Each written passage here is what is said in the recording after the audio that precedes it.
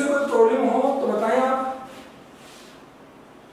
जैसे आपका message books का हो गया? एक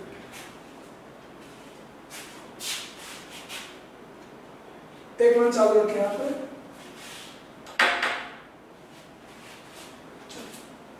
पैसिव में अगर किसी को कोई प्रॉब्लम अभी रही हो तो वो बता सकता है।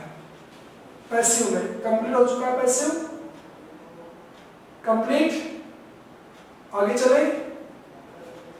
आप सीधे बता बॉडी लैंग्वेज बता सकते हो, जो ऑनलाइन जितने भी, जो विजिबल हो स्क्रीन पे, वो तुम बता सकते हो आराम से। पैसिव अभी कंप्लीट हुआ कि नहीं हुआ? नहीं हुआ हो गया है वेरी गुड तो नेक्स्ट जो हमारा टॉपिक होगा पैसिव के बाद में थर्ड जो टॉपिक है हमारा, देखिए। थर्ड जो टॉपिक होगा, वो हमारा होगा नरेशन क्या होगा? नरेशन नरेशन को आप फिर से अगर दूसरे वर्ड में देखें तो इसे बोलते हैं स्पीच क्या बोलते हैं? स्पीच सभी लोग आराम से इसको देखेंगे। और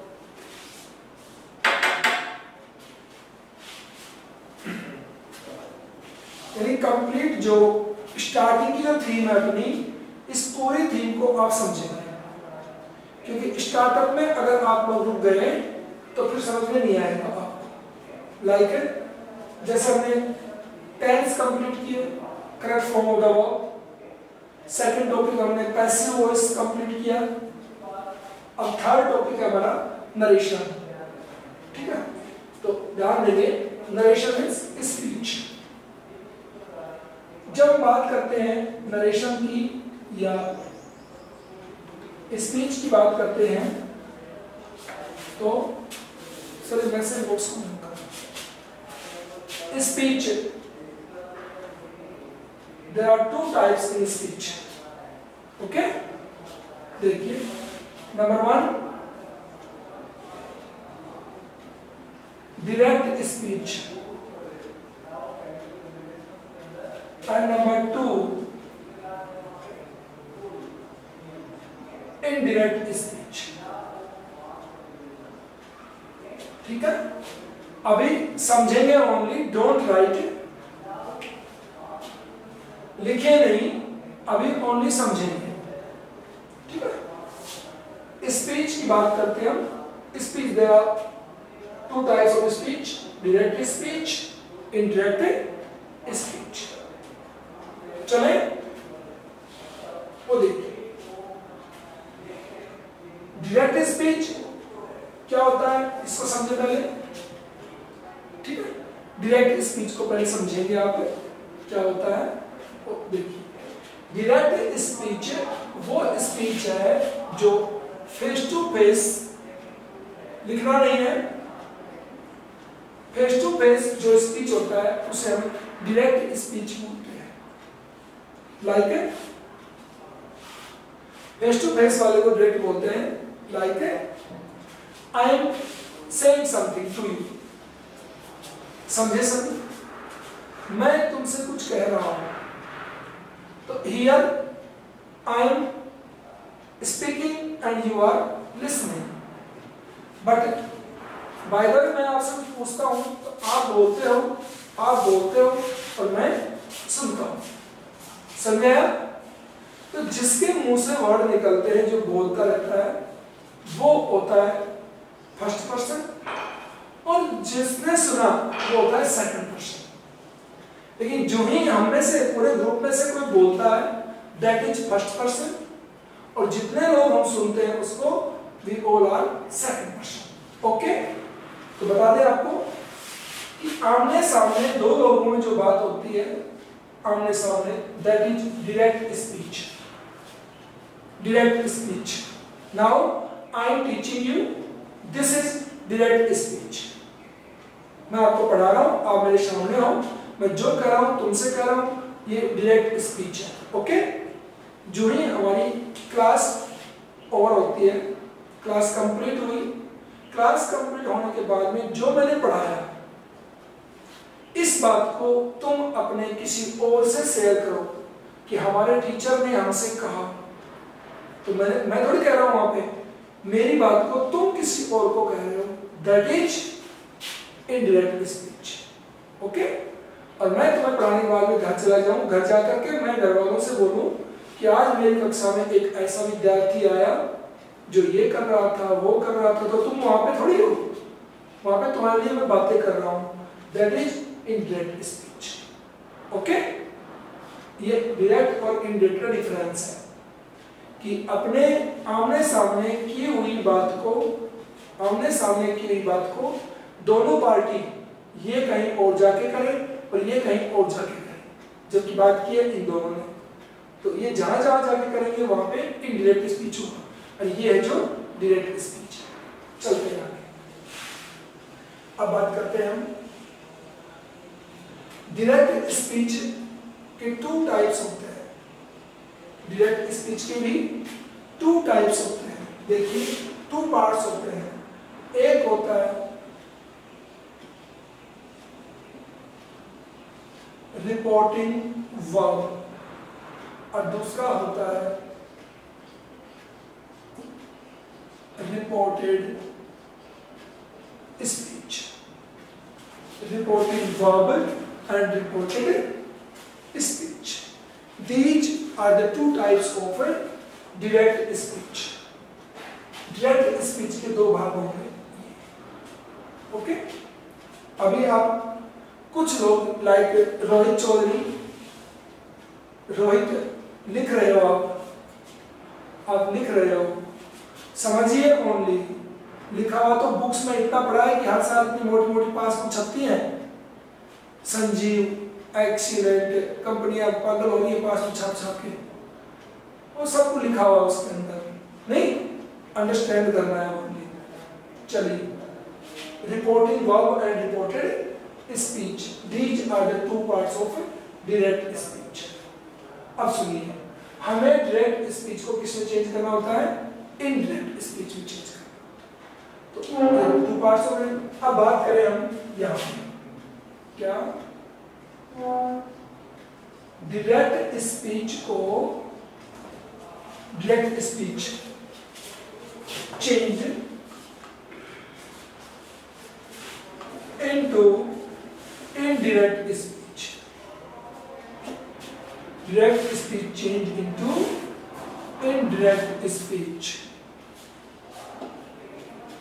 ध्यान देंगे सभी डायरेक्ट स्पीच इनडायरेक्ट स्पीच में बदला जाता है।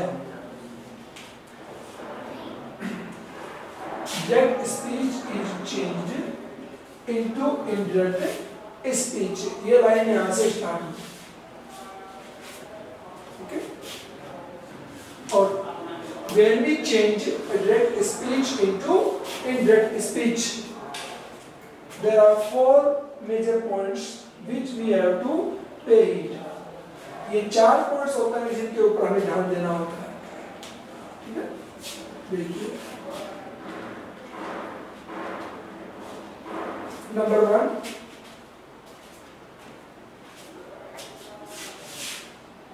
use of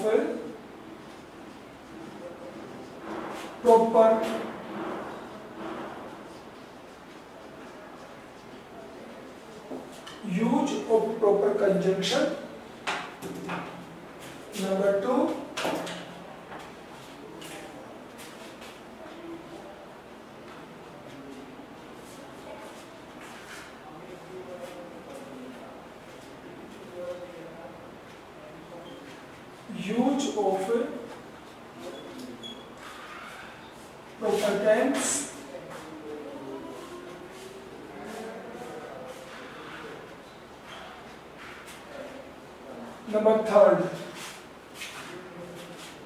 Number third.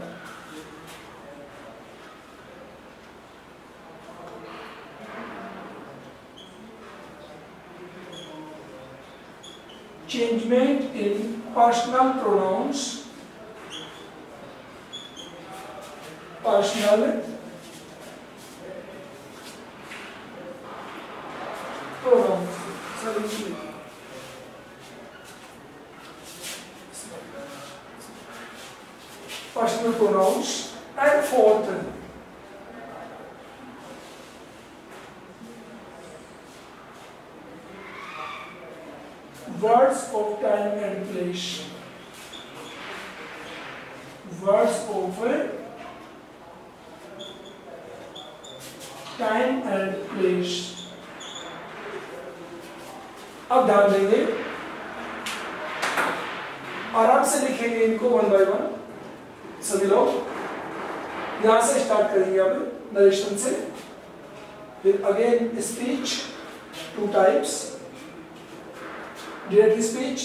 two parts reporting verb and reported speech after then this mark direct speech is changed into indirect speech and there are four main portions आराम से लिखें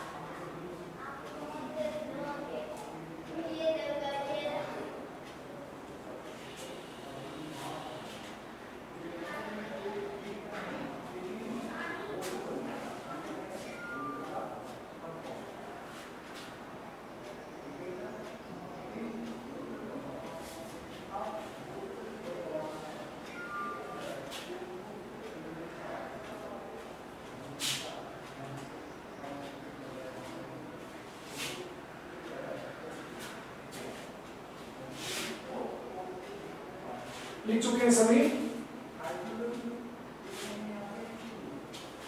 now come to the four points one by one इनको हम study करते हैं। मैं यहाँ से हटाता हूँ उसे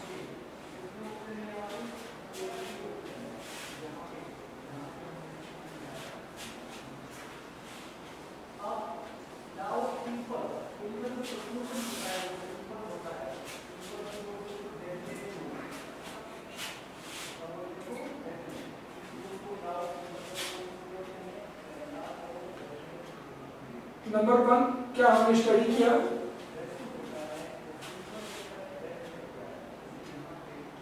use of proper conjunction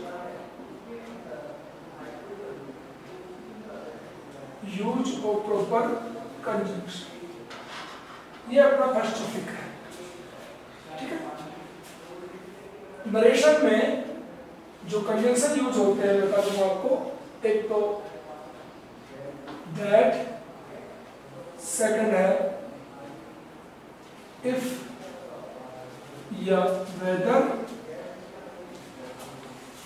और थर्ड है डब्ल्यू एच वर्ड और उसके बाद आता है टू ये टोटल कनेक्टिव्स यूज़ होते हैं नरेशन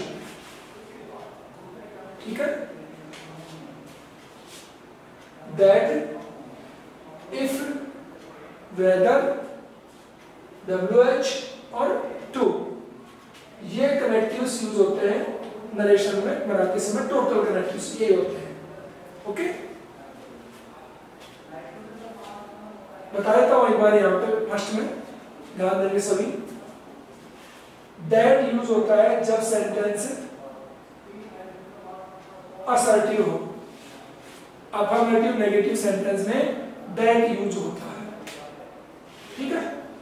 एक्सक्लेमेटरी सेंटेंस में दैट यूज़ होता है। एक्सक्लेमेटरी सेंटेंस में भी दैट यूज़ होता है। ठीक है? ऑप्टेटिव सेंटेंस में भी दैट यूज़ होता है। तो बता देंगे अभी आएँगे आगे। इफ़ यूज़ होता है हेल्पिंग वर्ब से स्टार्ट होने वाले क्वेश्चन के लिए इफ़ यूज़ होता है। और चॉइस वाले क्वेश्चन के लिए वेदर यूज़ होता है। डब्ल्यू एच के लिए डब्ल्यू एच खुद यूज़ होता है और इंपेरेटिव सेंटेंस के लिए टू यूज़ होता है, जो हमें प्रैक्टिकल करेंगे पढ़ते समय। ये मैंने ये हमारे कनेक्टिव्स की बात हो गई है। एग्ज़ाम्पल दे दूँ मैं इसका तो देखिए।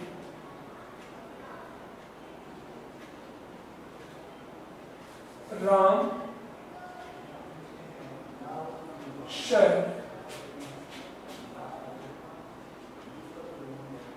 Radha is a good singer.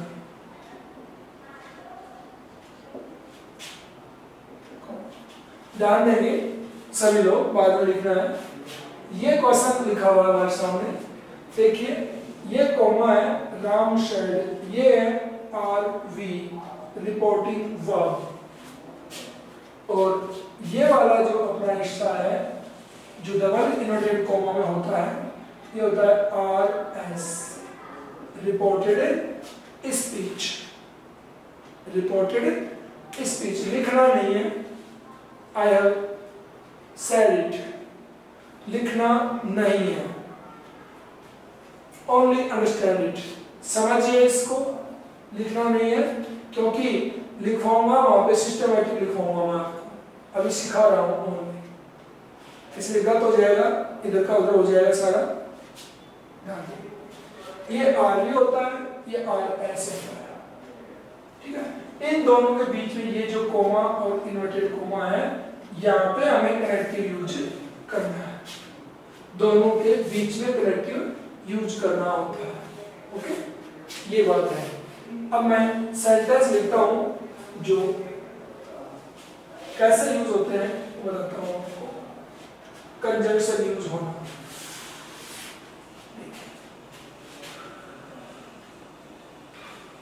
Ram sage. Ram sage.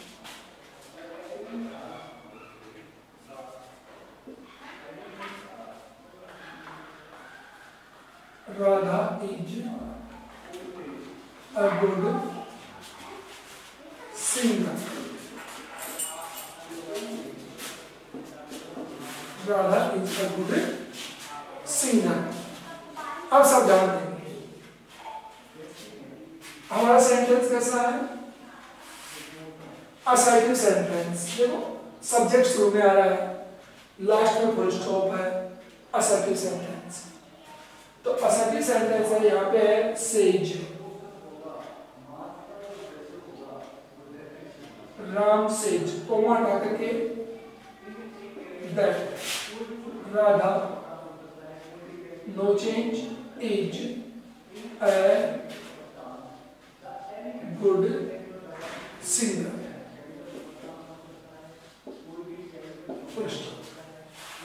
ये हमने चेंज किया तो दोनों फ़र्क क्या है। ओनली यहाँ पे कोमा हटा करके हमने दैट जोड़ा है। ये हो गया कनेक्टिव ऐड करना। Use of proper conjunction that का यूज़ कर दिया। ठीक है? वैसे सेंटेंस इंटरोगेटिव होता तो यहाँ पे इफ़ लगाते हैं इंपरेटिव होता तो यहाँ पे टू लगाते हैं डब्ल्यू एच वर्ड होता तो डब्ल्यू एच वर्ड को खुद को यहाँ लगाते हैं okay this use of conjunction लिख लीजिए अपने पास इस एग्ज़ाम्पल को लिख लो इसको यूज़ ऑफ़ प्रॉपर कंजंक्शन और ये कंजंक्शन है, मैंने मार्क कर दिया इसको। आरवी और आरएस आपको बता चुका हूँ पहले। लिख भी सकते हो आप इसमें भी। ये है आर बी और ये है हमारा आर एस तो पहले वाला बिठा दिया था, लिख सकते हैं तो आर और आर के बीच हम कंजंक्शन यूज़ करते हैं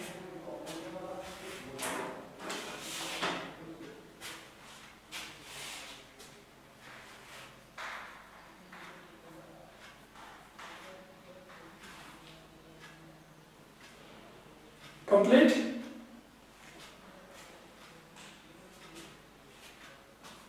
लिख चुके हो मिटा देता हूँ इसमें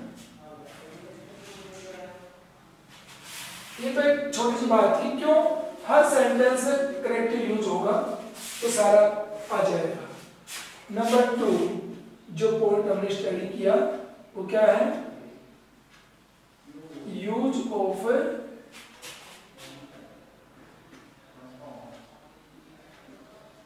प्रॉपर टेंस इसको समझिए देखिए यूज़ ऑफ़ प्रॉपर टेंस की बात आ रही है सेक्टर में, वो क्या है कि आरवी का टेंस अगर प्रेजेंट या फ्यूचर हो। आरवी का टेंस अगर प्रेजेंट या फ्यूचर हो तो आर एस का टेंस आर एस का जो टेंस है, उसमें चेंज नहीं होता। जैसा टेंस है वैसा वैसा यूज़ करेंगे। आरवी का टेंस प्रेजेंट या फ्यूचर हो तो आर एस का टेंस चेंज नहीं करेंगे। ओनली क्या होगा? कनेक्टिव यूज़ होगा। कंजंक्शन यूज़ करेंगे ओनली और इसका एग्जांपल हम कहा पढ़ चुके हैं? The first example use of proper conjunction वाला एग्जांपल में हमने राधा इज़ good singer को ऐसे कैसे यूज़ किया है ना राधा इज़ दैट यूज़ किया है ओनली क्योंकि इधर क्या था? Ram says. Ram says. Says verb की फ़र्स्ट फॉर्म में एस प्रेजेंट टेंस तो प्रेजेंट की वजह से आर वी आर एस का टेंस हमने नहीं बदला फ़र्स्ट सेंटेंस में। वजह यही थी कि उसकी आरबी किसमें थी? प्रेजेंट टेंस में तो प्रॉपर टेंस की यूज़ की बात कर रहे हैं हम। अगर हमारी आर्मी आर्मी किसमें आ जाए? पास्ट टेंस में। तो आर एस का टेंस भी किसमें हो जाएगा? पास्ट टेंस में बदल जाएगा। आर एस भी पास्ट टेंस में बदल जाएगा। यदि आर भी पास्ट टेंस में हो। तो ठीक है? तो ये है टेंस का यूज़ आप लोग लिखेंगे इसके अंदर?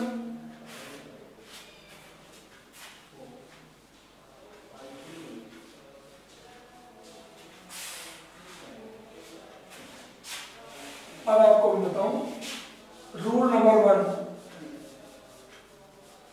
rule number one कर दे उसको जो रूल नंबर वन कर दे उसको जो अपन ने प्रॉपर कंजंक्शन की बात करी है यूज़ ऑफ़ प्रॉपर कंजंक्शन को रूल नंबर वन बोल दो। उसको नोट कर दो rule number one use of proper conjunction rule number one उसका एग्जांपल लिख चुके हैं। Ram says. Radha is a good singer. Rule number one था। अब मैं लिखता हूँ यहाँ पे rule number two rule number two लिखेंगे हम। ठीक है? सभी लिखेंगे। if the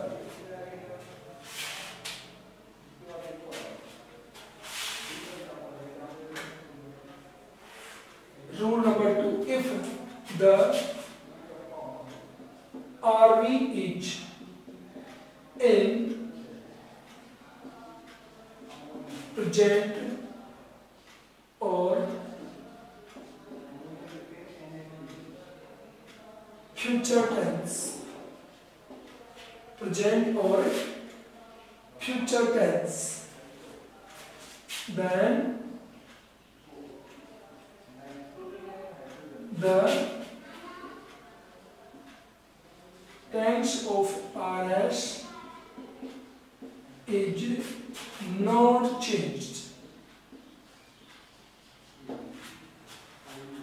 Tense of the RS is not a changed. R में प्रेजेंट और फ्यूचर टेंस में हो तो आर एस का टेंस चेंज नहीं होता है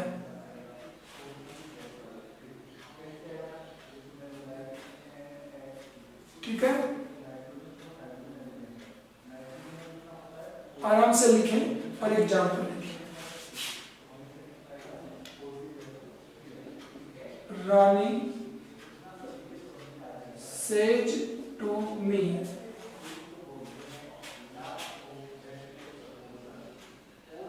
Mohan does not like tea Rani says to me Mohan does not like tea मैं अपने क्लास में जो पार्टिसिपेंट्स हैं वो आ रहे हैं मेरे पास में।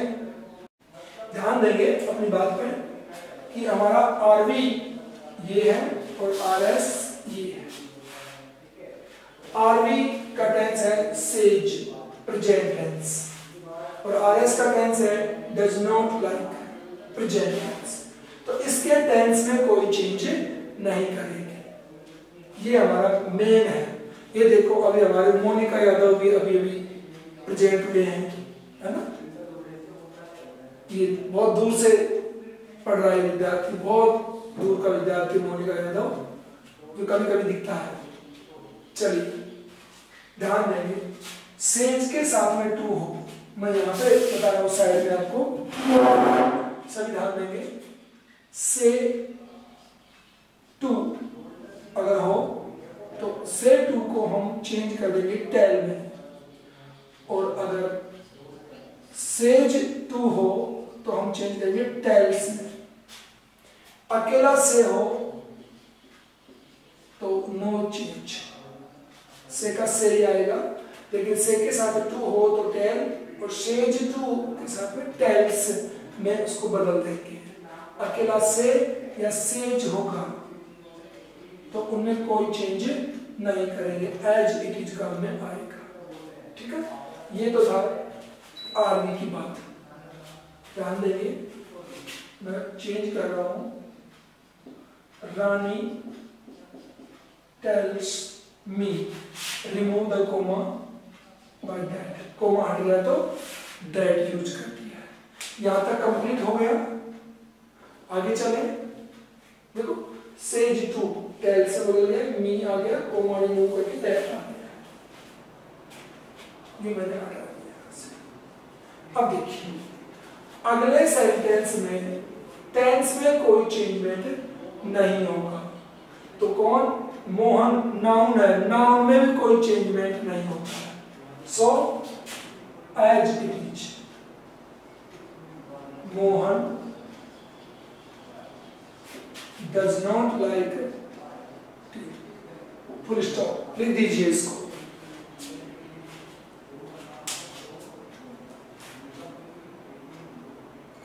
ठीक है तो अपना यही है कि प्रेजेंट या फ्यूचर टेंस में आरवी हो तो आरएस का टेंस नहीं बदलता है। प्रेजेंट टेंस में आरवी हो तो आरएस का टेंस नहीं बदलता है। कनेक्टिव का रूल नंबर एक था कनेक्टिव हमने यूज़ कर लिया कंजंक्शन यूज़ कर लिया है रूल नंबर एक complete rule number two present tense no change clear now rule number next जो रूल नंबर थ्री वो इसी का है टेंस का ही है। एक बार उसको स्टडी करें लिखिए टू हो गया। अब मैं लिखूँगा रूल नंबर थ्री इसमें एक एग्ज़ाम्पल और ले इसका एक एग्ज़ाम्पल और ले लीजिए। He will say he will say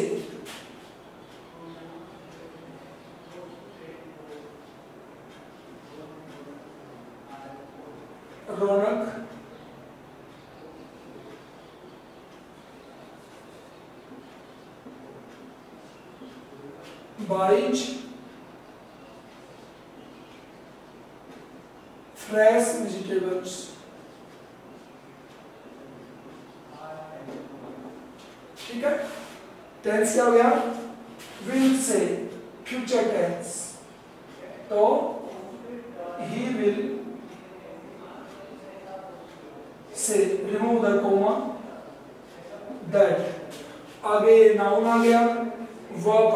first form है no change as it is लिख दीजिए he will say that Ronak buys fresh vegetables लिख दीजिए ऐसे कैसे तो क्या हो गया फ्यूचर टेंस का एग्जांपल हो गया प्रेजेंट और फ्यूचर दो एग्जांपल हो